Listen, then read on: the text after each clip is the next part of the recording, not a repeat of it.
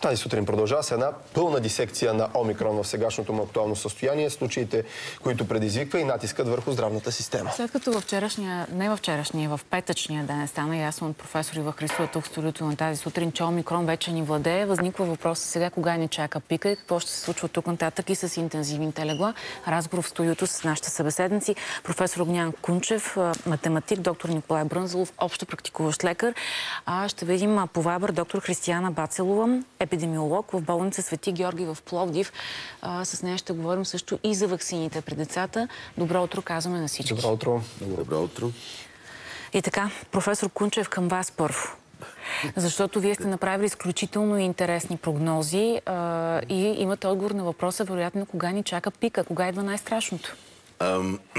да. Ам, отговора, нали, толкова доколкото моделите могат да посочат нещо. Аз преди това ще си, искам да се оправдая, разбира се, защото искам да ви... Да, За възможни да, грешки? Ами да, разбира се, защото ето вижте данните, с които разполагаме от 20 декември.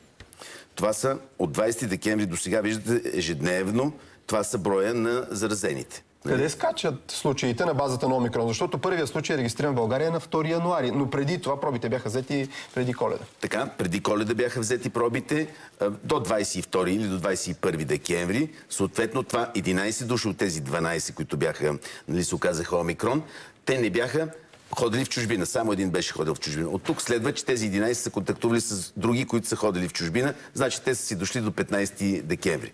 Считайте, че на 15 декември те са дошли и са заразили още други хора, освен тези. Пиковете сега, които искате да ни покажете с тази така. безопасна показалка, нали безопасна? безопасна Добре. Е, да. Добре. От разстояние. Къде е пика? Така, не, това са данните. А сега така. на основата на тези данни искам да ви покажа модела, който произвеждаме. Така. Ето го модела.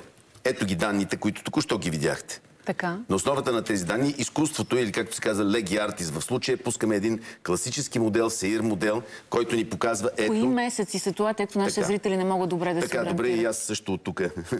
значи това е от 20 декември, продължаваме до март-април месец. Ето тук е април месец. Виждам там 5 март, там ли е кулминацията 5 март и е кулминацията, където са... Колко хиляди дневно? 70 хиляди дневно. 70 това е модел. Да, това е модел. Дневно, Еми, това е в рамките модел. на 24 часа. Да, това е модел. Той модела показва какво ужасно нещо може да се случи, ако оставим нещата на само себе си, на самотек. Така е. Има ли нещо, което може да спре този пик? Локдаун. Локдауните винаги са действали. Или ако са вакцинирани, тогава това въздейства. Доктор Брънзалов, как ще коментирате тези данни? 70 хиляди. Това е 10 пъти повече от сегашния. Струва ли ви се реалистично? Възможно? Натиска какъв е в момента? Да, за натиска определено е, се повишава всеки ден, но нека да ни коментираме толкова страшкащи данни, защото убеден съм, че професор Кунче ще потвърди, тук влиза и те наречената скрита заболеваемост. Нали, тя въобще не е малък процент. Нали, така че и днес, след като официално да са заявени на портала 3000 случаи ли бяха? 2379, пред мен са. Във всички случаи те, те заболелите са много повече в България. Колко ще според вас, професор Кончев, много накратко? Днеска? Да, колко е със скритата заболеваемост? Със скритата заболеваемост. 379. Искам да ви обезпокоя, трябва да си го умножите по около 5 в България. Значи, вие за днеска ли говорите? За днес. Оставете за днеска. Тия данни са абсолютно непредставителни в понеделник. Събота, неделя, не, не, не. Да, Тези данни са, аз току-що ви показах картината, за да се оправдавам. Ето е. Картината е ужасна. Събота, неделя, понеделник тези данни изобщо не, не сумират. Те идва вторник, когато сумират... Да. да чуем доктор Християна Бацелова, защото се казва, okay. че Омикрон засяга много децата. Доктор Бацелова, на фона на това, което чуваме сега, 70 хиляди новозаразени на 5 март, как ще се отрази това върху най-младите, върху подрастващите? Добро утро и от мен на всички. Ще се отрази, за съжаление, по начин по който ще имаме необходимост от хоспитализация и вероятно на една част от децата. Други, надяваме се, да боледуват леко. ако не се предприемат мерки за ограничаването на контактите между децата и възрастните, т.е. учителите в организираните колективи, логично ще има все повече заразени и такива деца, които ще и разпространяват омикрон. Така че очакваме да се увеличат броя на хоспитализираните деца и според Министерската заповед има и увеличаване на леглата в COVID структурите за деца, педиатричните легла. Спрямо новата заповед и новите планове на Здравното министерство, най-малките ученици от първи до четвърти клас, чак в четвъртия етап и 80% заетост на интензивните легла, ще се мисли дали да минават в друга форма. Според вас това правилно ли е? Трябва ли да учат присъствено децата? На мен ми се иска да се ограничат изобщо физическите контакти, да преминат онлайн обучение, поне докато така започне а, да позатихва а, вълната. Да, знам, че това може да е доста по-дълъг период от една-две седмици, но в крайна сметка, когато става въпрос за здравето на децата, е по-добре да ограничиме контактите. Виждаме, че в крайна сметка онлайн обучението работи. Децата са свикнали вече с него. А, така че това е само единствено в полза за ограничаване разпространението на вируса. И в момента немалко училища и класове са засегнати от а, омикрон. Те така или иначе са онлайн.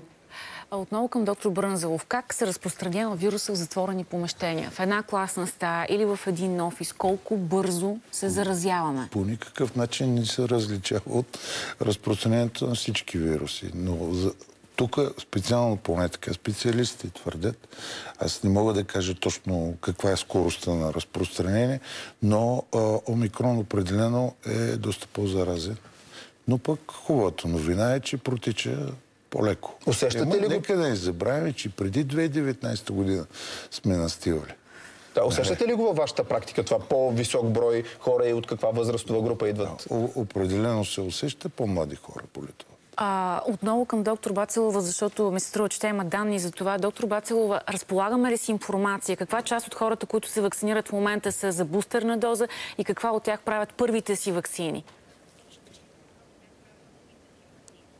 Ами, за съжаление, трябва да ви кажа, че при нас в петък сме вакцинирали с първа доза само 5 човека. Останалите а, хора, които минават през вакцинационния кабинет, са предимно за трета, т.е. за бустерна доза.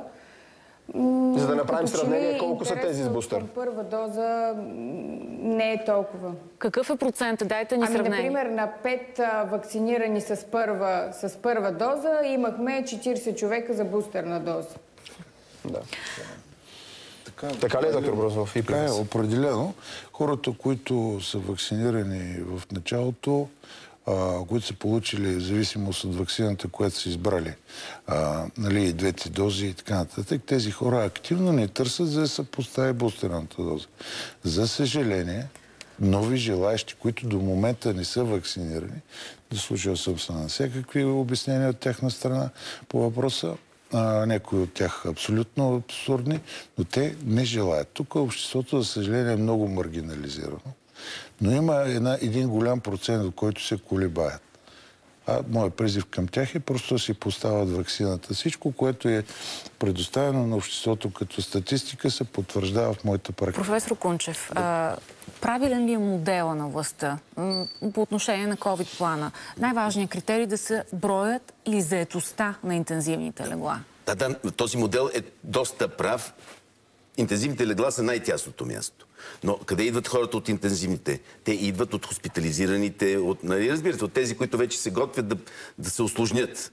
Значи там трябва да се гледа. Не е единственото нещо, което трябва да се гледа интензивните легла. При това движението на интензивните легла е много консервативно. О, това е много неприятен момент за тези, които мислят, че 85% или 80% ли беше? 80%. О, не, не, това число е много високо. Ето, а колко вижте, трябва да бъде според Ами трябва да е не повече от 30%. Заетост и Абсолютно. твърдяване на мерките. И веднага, да, веднага значи, да ние сме го минали. Поглед... Да ви покажа исторически какво стана. Ето го октомври месец 2020 година. Октомври, когато направиха локдауна. Ето тук на 25 октомври беше направен локдауна 2020 година и броя на леглата интензивните заети беше 138. И то след локдауна, като се въведе, продължи да расте и стигна до 600. То се движи, движи, движи. Те са натрупани, тия болните са натрупани от тук и лека по лека се влушават, влушават. И, и правете си сметката, ако вземете това, това 30% ли е? 138. Даже по-малко от 30% отиваше. Същото се случваше и тук. И тук погледнете на 21 октомври тази 2021 година. Пак беше направен локдаун. Ето движението на интензивните легла. Пак се качи тук. Тоест закъсняваме ли какво? Ми закъснява, то постоянно нагоре се дига, дига, дига. Кога трябва Ами, да има локдаун Мисля, че е крайно време след е, близките 10 дена да се мисли за това нещо. Не локдаун, силни ограничителни мерки, нека кажа. Доктор Брънзов, висок ли е според вас този процент от 80? Трябва ли да го чакаме или сега е момента да се действа с някакви малко по-рестриктивни мерки? Вижте, според мен този, въ- този процент е доста абстрактен. Защото първо ние сме разделени според а, този план на 8 зони, ако не се лъжа. Шест. 6 зони, а, което, където заболеваемостта в тези райони е абсолютно различна. Второ, този процент може да бъде повлиян. Нека да приемем датата, нали, 5 март ли беше, а, която е определя професор Кунчев. Нали, при това положение ние може, имаме време да и повлияем на, на тази заболеваемост все Док- още. Доктор Бацело, отново да чуем. Сега говорим за брой легла, за интензивни легла, но всъщност трябва човешки ресурс, трябват а, лекари, медицински сестри. Ще имаме ли този ресурс да се справим, особено при 80% заетост на интензивните легла? Ами имайте предвид, че а, все пак колегите вече имат доста опит с заболяването, но когато се препълнят болниците, винаги идва момента на липсата на, разбира се, и лекари, и медицински сестри, и помощен персонал. Така че е хубаво хората да се замислят, да не очакват и чудеса. Все пак става въпрос за хора, но аз мятам, че Колегите са достатъчно подготвени. Има все повече млади и млади колеги, които искат да работят това, но категорично винаги в пика на една вълна има недостиг определено на персонал. Спирането на плановия прием добра стъпка ли е за разтоварване на натиска върху болниците? Да, за съжаление в такива моменти се налага спирането на плановия прием, което осигурява персонал за COVID структурите, както и ограничава възможността на тези планови пациенти да се заразят с вируса. Към професор Кунчев, понеже вие носите много интересни данни, от примера, който имаме в, в, в Великобритания, например, Да. какъв извод можем да направим за това, което ни чака тук у нас? Така, ето. Великобритания като процент омикрона какъв е? Ето виждате на 1 декември е почти нулев процента и тук за 21 дена стана 80%. И лека по можете да видите как се дига до 100%. Ето тук е на 20 декември. От 1 до 20 декември. Значи за 20 на дена те направиха 80%. Айде ние да не сме толкова динамични, да речеме за 20 дена да сме 60% станали. Нали? Професор Ива Христова говори по този. Доктор Брънзелов, има ли опашки пред кабинетите на личните лекари? Увеличава ли се значително броя на заболелите? Увеличава се определено. А колко бързо минава омикрон? Бързо ли минава като протичане, като развиване на симптоматика спрямо предходните? Моите наблюдения са абсолютно, че минава доста по-лесно. Никакви а, такива варианти, които се предиспонират в обществото с лечение с антибиотици и така нататък, общо практикуващи лекари изписват, това, просто не върви. Това е, това е един изтъркан рефрен. Повлияват се по-голямата, огромния си процент от тях се повлияват с чисто симптоматична терапия, в никакъв случай с антибиотици. Казвате не на антибиотиците в случая Да, с много е важно тези хора просто да се намерят кои са и да бъдат изолирани, да, не си правят разпространяват. Да, тестове, ма кои тестове? Тестове къде трябва Вие да се кажете, правят. какви тестове да си правят хората? В Къде? никакъв случай от аптечната мрежа. Да търсят лекарска помощ, да им направи специалист теста, Е, той с който, е да може да го, за който да може да, да го а, регистрира в Националната здравна информационна система. Професор Кунчев, каква е скритата заболеваемост според вас? И в тези 70 хиляди, които ни давате за 5 март, тя включва ли тази скрита заболеваемост? А, тя не включва тази скрита заболеване. Искам Тогава- да ви предупредя, тогава- тогава е още А т.е. по-голямо. умножаваме Тогава- тези Разбира се. 70 Тогава Ами да, колко ни е давате? като Ако включим, добре, ако включим и скритата заболеваемост, тези 70 хиляди как ще скочат? Ми, вижте, това е като грипа. Той се разпространява просто дифу... така наречено дифузно, около 300 хиляди.